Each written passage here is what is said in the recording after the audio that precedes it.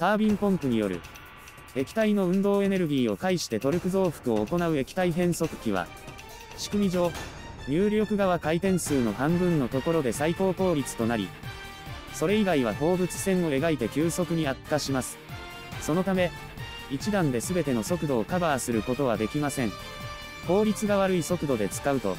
発熱が大きくなり変速機が大型になり、燃費も悪化してしまいます。効率の良い、限られた範囲の回転数で液体変速機を使いながら車両の速度を変えるには、速度に応じて減速比を切り替えなければなりません。液体変速機を複数用意し、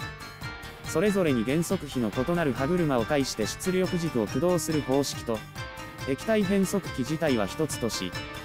その出力側に歯車を切り替える機械式変速機を配置する方式があります。後者は小型軽量な反面、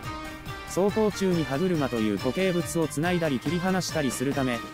精密に制御しないと切り替え時に大きな衝撃が起こります。現在のように、電子ガバナーでエンジンを精密制御できなかった当時、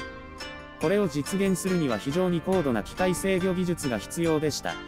高い機械技術力を持っていたドイツは、古くからこの方式を実用化していたのです。この絵は、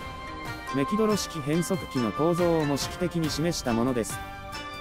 左端にあるのがエンジン。その回転は増速歯車によって回転数を上げられます。回転数の上がった力は液体変速機に伝えられ、機械式変速機の最初の歯車を回します。間にある円盤は、爪クラッチ動作時に回転数を素早く落とすブレーキのようなものです。次の歯車で減速された力は、爪クラッチを回し、次の歯車でさらに減速されます。この爪クラッチは、マイバッカのデフレクタークローと呼ばれるもので、力の伝わる経路を切り替える働きをします。複数のペアを用意することで、多段変速と回転方向の切り替えが可能となります。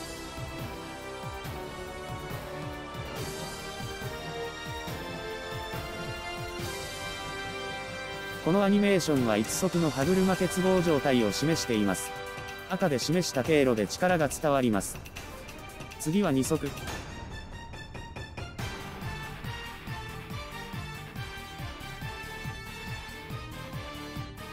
続いて3足。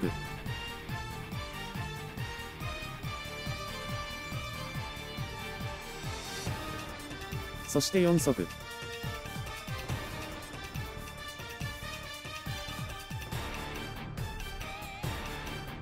牽引力は、それぞれの歯車比に応じて変わります。ディーゼルエンジンのフラットなトルク特性は車両には不向きですが、液体変速機で低速トルクが増幅され、さらに歯車を切り替えることで低速で強い牽引力となります。発車直後を除いて、効率は70%以上を維持。直結や流体継ぎ手の効率にはかないませんが、広範囲でエンジンが最大出力を発揮でき、エンジン出力の有効利用が可能です。変速時の牽引力中断と、大きな衝撃が発生する問題があったものの、密閉された変速機オイルは劣化が少なく高温動作が可能で、小型軽量という利点を持ち、ドイツで機関車での実績を積んでいったのです。ディーゼル化を進めていた日本でも、このシステムの導入が検討され、試作車が製作されることとなるのです。